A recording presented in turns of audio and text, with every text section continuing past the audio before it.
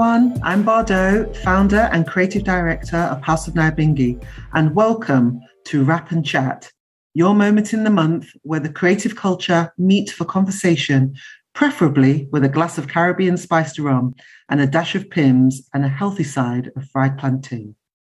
So let's get into it, and don't forget to click, subscribe, and leave your comments below. Our guest this month is Matthew Gordon, who releases music under the name Pie Eye Collective and resides in London, UK. Welcome, Matthew. Hi. Hi, Bardot. How are you doing? Thanks for having me. I'm not too bad. How are you keeping on this lovely day? I'm doing quite well, thank you. I'm okay. Wonderful. As usual, we are going to start off with our quickfire round. And then, Matthew, you can tell us more about yourself and Pie Eye Collective, what you do, how you do it, and I guess what inspires you? What are your top tips for our audience if they wanted to get into the music industry? You've got one minute to answer these questions as quick as possible, starting now. Favorite genre of music? Jazz. Fave album? In a Silent Way by Miles Davis. Miles Davis, very bougie. Favorite song? Wichita Lineman by Glen Campbell. Ooh, I say. Now, favorite day of the week and why? I don't actually have one. Oh, oh well, that's good for you. Mine, I think, is Friday. Uh, favorite cartoon or cartoon character? Uh, Batman. Okay. Fried plantain or fried dumpling? Dumpling. Oh, you're a dumpling man. I see. You're the first dumpling man I've ever met. Ghanaian or Nigerian jollof rice? Oh, Ghanaian. Ghanaian. Nigerian family, please, please just look after yourselves. Calm down. We don't want no wars. All right. Rice and peas or plain rice? Rice and peas. Rice and peas. Okay. And we've got a few seconds left. Guinness punch or sorrel? Sorrel. Aye, yeah, yeah, yeah, yeah. Woo, woo, woo. I thank you. That is your quick fire round over and done with. We may have new friends. You may have created some enemies with that uh, Ghanaian selection there, but keep that one quiet. So, who, if anyone, was your greatest inspiration growing up, family member or other? Greatest inspiration growing up would be my parents. Mm-hmm. Um, reason being, um, they're classic example of where constant hard work will get you. Because, like a lot of second generation immigrant families, they worked from pretty much nothing. Tell me about the three most influential people in your life and how they impacted you. And it can be at any age, Mm. alive or dead, actually, if Mm. there's anybody that's passed on. Sure. You know what? I'm gonna I'm gonna be a bit cheeky with this one. I'm gonna roll my parents into one person, Okay. so I can then get That- that's fair enough. I'm, I'm sure they'll be pleased that they've, they've even on the list. um, so yeah, parents are, are one for the reasons given earlier. Okay. The other person would be um, my grandmother, who um, is no longer with us. Um, just another perfect example of a solid human being. Okay. Yeah, just just great in so many ways. Mhm. And finally, uh, my partner, who is an, an incredibly huge inspiration for me, and also, you know, as all good partners should be, a source of support and Mm. family and that kind of thing. One of my big inspirations is one of my big inspirations is the people I come from. So I mentioned earlier that my most recent family history is from Jamaica. Now, when you look at, there are reasons for this, and a lot, people, I guess people who listen to this podcast will be aware of those reasons, but there's a, there's a very marked tendency for the achievements of melanated people to be downplayed. Yes. Um, so what I'm referring to is particularly uh, dub music in Jamaica. That stuff was made by geniuses, Mm. and it's not it's not widely acknowledged. I mean, it is if you're in the dub community. Obviously, you know what's going on. But outside of that, people just kind of hear the music and just take it for granted. Yeah. Whereas how you need to think about it is that those sounds had never been heard before. And those guys that were making that stuff were all incredibly intelligent because you need to be because okay so take one example for instance one like the kind of giants of that field king tubby king tubby wasn't actually a musician he was an engineer Mm. and he made radios Yeah. and not radio what service radios and lots of electronic equipment just to give people a kind of a, an idea into the mind you need to do that if you want to be like wiring electrical equipment you you need to know some like pre-advanced mathematics Yeah. and you need to like to like to yeah, to a to a higher than average level because a lot of those sounds that those dub guys are coming out with it was all equipment they were making themselves in their living rooms Yeah. because they had the mathematical and scientific knowledge to do it. It wasn't an accident. But and leading back to what you said about it wasn't an accident, it also feels as though it was an imprint from the ancestors that's been handed down. Because if you think the peoples in the continent of Africa before slavery, Hmm. we had our own religions, gods, our own music, musicians, architects, bakers. You know, we had our own everything. And then imagine those people are then removed from their homeland and their society and what they know into another part of the world, becoming enslaved people. That architect doesn't stop being an architect overnight. He's still got that No. understanding, like you said, of the mathematics. Those teachers didn't stop becoming teachers. So that knowledge and information does get handed down in the same way we talk about muscle memory with sprinters Mm-hmm. with the Caribbean sprinters. You know, that muscle memory, it's part of the DNA. It just means that we've got a collective of, like you say, musicians here with dub that's been able to translate almost that sonic hieroglyphics and the mathematics into instruments and put audio onto it that the rest of us can hear, which to us, it sounds familiar and part of family, but to others, it's like, what's what the hell is that? I've never heard that before. Mm. Or, I mean, yeah, the even idea, yeah, the idea that you take a take a song and drop out the vocal and some of the instruments.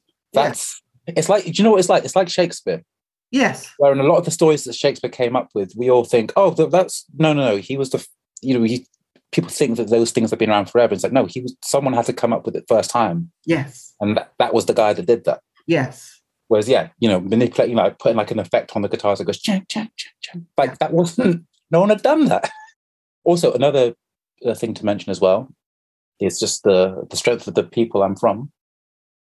Even if those guys weren't descended from scientists and mathematicians, if you think of like how they're, so someone like King Tubby, think of like uh, how old he was, his like almost direct descendants, not descendants, sorry, direct ancestors would have would have been enslaved, Mm. right?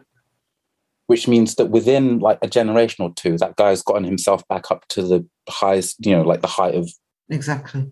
of in, uh, you know knowledge and intelligence. Yeah. I mean, I think that's pretty pro- profound. Did you have a mentor through your evolution? And if so, what was so great about them? I've had I've had a number of mentors. Okay. Who was your Um, fave, if any, Don't particularly have a favorite. I mean, because they're all they all were brought something to the table? yeah they're all yeah and it's it's it's been a combination of teachers that i've had uh university and school Yeah. and also i remember like so when i was younger i played a lot in church Yeah.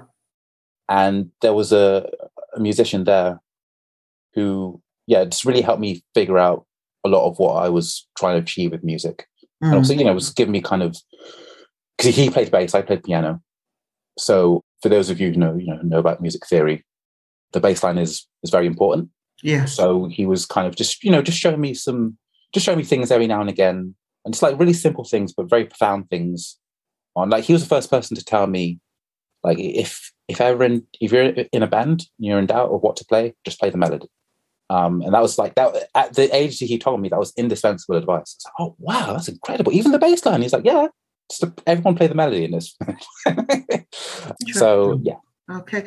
And you know, it's really nice to sit and be able to speak to an artist who's come through the church pathway because you Mm. find that that was a very big thing obviously 40s 50s 60s 70s 80s even the 90s Mm. now you're not finding that so much and it it comes back to something you're saying about it it's underpinning and giving you a foundation of knowledge that you know TikTok stars or your you know your um your ready-made manufactured stars of your TV music shows they don't have. Mm. You know, and I think that's why sometimes the, the music, when you're hearing it, it's not holding you and having the gravitas in the way music previously, previous albums were constructed because it's almost like it's not nourishing the soul because a specific foundation isn't actually there, if you know what I mean. Yeah, it's I so I'd put that down to um just having practical experience with Yeah. music in the wild. Yeah, in the wild. I like that. Um, I like that. and it's not for me it's not so much the church environment that's the the issue it's just the fact that it's using music realistically Yeah, for the purpose it was intended to be used which is not for which is not as a product to be sold yeah, but as you know something a bit more metaphysical. Us both being creative people works quite well for us. I don't think it would work for everybody because mm. there may be you know unfortunately there may be some like competition I- given that you're both like competing for the same audience or the same dollar let's say. I see. but no in our case it's all, it's all very supportive and kind of works in, in the best way possible Yeah. so we understand like the the lifestyle kind of challenges and Okay. that sort of thing you know To get more updates on when the next Wrap and Chat will be out, don't forget to click subscribe and leave your comments for us below. Matthew, please tell the audience about your personal evolution within the music industry. So, going from, I guess, school, have you always known that you wanted to do music? And if so, how did you find the pathways to get into the industry? What support was there for you to now being Pie Eye, releasing music as Pie Eye Collective? Your first, I believe you had a performance towards the end of last year, your first concert performance at the world renowned Jazz Cafe in North London. Yeah, so, so tell us about that, that evolution. I'm, I'm sure the audience would love to hear about that. So i've not always wanted to be a musician i started to become uh, very fascinated with music as a teenager before then things that i wanted to be included astronaut architect Wow. Okay. or um or scientist Okay. to say physicist actually not Yeah.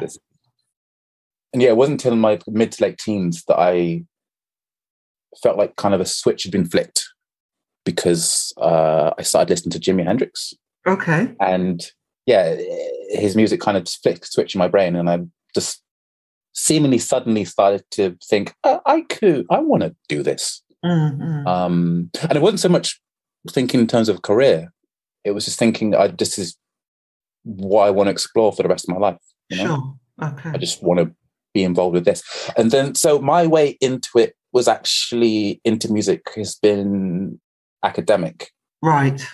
um because that's what that's just you know that's what made the most amount of sense to me when i was in it, it was i was quite good at school Yeah. so it just made sense to me to stay on that pathway and also it's a generational thing as well in that people of my generation are school was heavily sold to us you know Yes. so i yeah like i said late teens started to become very interested in music then thought oh i could study this at a level hmm oh i can study this at degree level oh i can study this at master's level so i just kept i just kept studying and Oh. um And just out of curiosity, um, where did you go to school? Was that in London or somewhere else? oh right so went to school in bristol Okay, uh, which is Um, the southwest of the United Kingdom for our international listeners. Yeah. Mm-hmm. Yeah, Bristol, uh, St. Mary Redcliffe and Temple School uh, in Bristol. And then I did an undergrad undergraduate degree in music at Oxford Brookes University. Wow. Okay. And then I did a master's in composition at Trinity, Trinity Uh, College. Trinity College, or Trinity Conservatoire.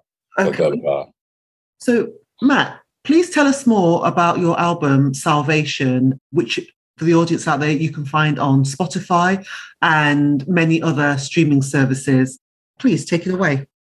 yeah, from my debut album, which is called Salvation, did all myself. well, about you know ninety something percent myself. There's a track there I wrote. One I wrote with a friend of mine called Hector Plimmer, and another one features vocal by a friend of mine who records under the name Metasheba. And you can find out about both of them on the socials and all of that. Mostly, mostly on my own, made in my living room. I say the album actually took me quite a while to write. Not to write, to get together, because the music was unfamiliar to me. So what I mean by that is the music didn't just suddenly appear. I had to I had to work it out. Okay. Um, and for those of you that listen, it there's probably some things about it which seem a bit unfamiliar. And I, I had to work those out too. I mean, I mean, I'm a I'm a proponent of the idea that creative people are conduits. Mm-hmm. I had to figure out what the, all these ideas were because I couldn't hear a lot of this stuff around me. So I had to put yeah to put a lot of work in just to like I was saying earlier hear my own thoughts. Sure. And hear what this music actually was. Other than all the music I've ever listened to and liked, the inspiration for the album is myself, myself, my journey through life. Uh, I mean, that's if the album is quote unquote about anything, it's about that, and the titles are reflective of that. The titles are all issues that I deal or have dealt with like directly. Mm-hmm. So, for instance, there's a track on there called uh, Yantra, which combines, you know, the idea there of that title is combining my interest in ancient religions or religion in general, and also mathematics. Google Yantra if you want to find out about that. And the the track you mentioned, gratitude. Uh, so I actually I actually wrote that in 2020. Okay. During the first lockdown. Mm-hmm. I, I, wrote it because I felt grateful. Because I felt like I, under, I had an understanding of the severity of COVID. Back, you know, if we look at the numbers of, of COVID back in 2020, it almost seems like there was no problem. But I felt like I understood the severity of the problem then. Sure. And I was grateful that I was able to stay in my house. I was able to stay with my partner. I had, yeah. you know, I had food to eat. Mm. And I feel like I was able to put that emotion into sound. Mm-hmm. So if the music makes you feel anything, I hope that the music instills in you like this uh, a feeling of feeling grateful or gratitude or uplifting or gratefulness, any of that kind of stuff. In in so much as yeah, a musician can trigger certain emotions with their music, I I hope that that's what that track does. Brilliant, thank you. To get more updates on when the next Wrap and Chat will be out, don't forget to click subscribe and leave your comments for us below. So, I want to open up your mind a bit. What do you think the creative world, as in the music industry, if we think back where we are now, January 2022, hmm. looking back the last 50 years of music, what we've had, what if you think about what we've listened to, how things have changed in the industry, what do you think the next 50 years might look like, or feel like, or even sound like? It's a hard one. I wouldn't really want to say what it would look like, what it would, I wouldn't want to say what it would sound like. Yeah. I think the, because I think that's not as interesting a question as how we're going to consume music. Yeah. Gonna, what that's going to look like. I think that's going to be more the interesting thing because, and that that will influence what it sounds like as well. Like, for instance, what, what I mean by that is you look at streaming services and look at how money is paid out. With Spotify, for instance, mm. a fee is only accrued for a stream if it's listened to past 30 seconds. So you what you have now is a lot of artists trying to make sure that the song is like hitting within the first 30 seconds. Yeah. So that people don't skip it. Yeah. Um, that's, yeah, that's what I'm talking about, you know, is the, the, how it's, how music is consumed, changing the way it's made. Because I think, I, I, this isn't really a thing, it's just, it's actually a fact if you do your research, that there, there is no new music. Everything just keeps getting recycled, which I think is the beautiful thing about it, actually. Okay.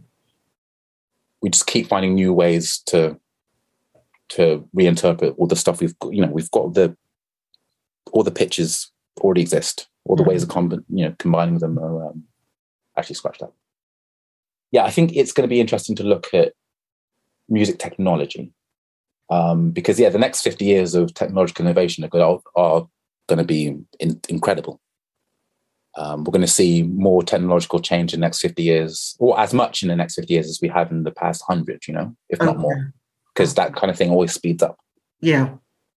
So I think, I mean, I think it's probably fair, um, unless you've got a, a foot in like the emerging technology world, it's probably a bit unpredictable actually what's going to happen next. Okay. Um, there's probably someone in a in a lab somewhere who's working on like some yeah some new technology which is going to change the way we all listen to music. But I don't know about this. Also, I also I think I'm not. Yeah, I'm not going to make a prediction here. I'm just going to say it's going to be interesting to see what happens with how music is made as well. Okay. Given that, again, technologically and in terms of the economy, the average workforce behind a piece of music has been shrinking. Whereas, you know, think of uh, okay, so last 50 years, put out a song in a song, a record, whatever, in 1972, and there's at least, you know, there's a good like half a dozen people involved in the making of that. Sure. Include, you know, so there's the band, there's the engineer, there's the producer, yeah. there's the A and R, there's the artwork people, there's, uh, you know what I mean? There's yeah. all all those jobs have just consistently over the past few 50 years been whittled down. Right. Um, so I think, yeah, it's going to be interesting to see like how many people it takes to make a record. Uh, given now that AI technology is getting very, very good, it's still it's still at infant stages, but um, yeah, the ability for a computer just to spontaneously generate an original piece of music that people will listen to and accept yeah. is rapidly becoming a thing. I see. So, I yeah. see. What would be the title of a book about you if your worst enemy wrote it? He didn't talk to me, probably. he didn't talk to me. All right, there we go. That's that one. If you could be remembered for one thing, what would it be and why? Uh, I'd like to be remembered for, well, personally, for being honest and always giving people what I think to be the truth and creatively, I mean, I, I put a lot of effort into the music I make, so I would like to be remembered for my work. Matthew Gordon, thank you so much. This has been your Wrap and Chat. Thank you and look after yourself. Yeah, thank you, Bardot. Thank you to everyone listening. You're most welcome. Thank you.